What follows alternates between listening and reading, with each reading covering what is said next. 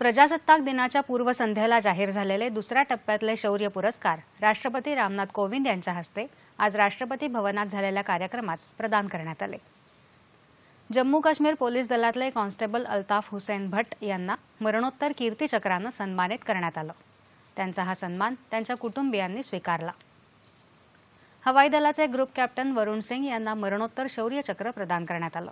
त्यांच्यासह आठ जणांना शौर्यचक्रानं सन्मानित करण्यात आलं. सेवानिवृत्त lieutenant general doctor Madhuri Kanetkar यांना परम विशिष्ट सेवा पदकानं आज राष्ट्रपतींच्या हस्ते गौरवण्यात आलं.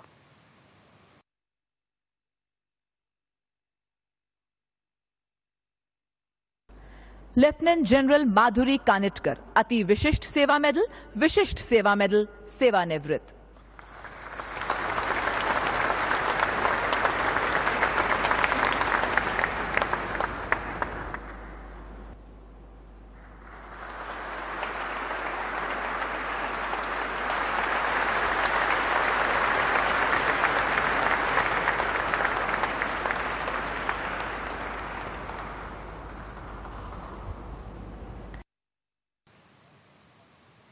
आज झालेल्या कार्यक्रमात एक कीर्तीचक्र चौदा शौर्यचक्र चौदा परमविशिष्ट सेवा पदकं आणि एकोणतीस अतिविशिष्ट सेवा पदकं राष्ट्रपतींनी प्रदान केली.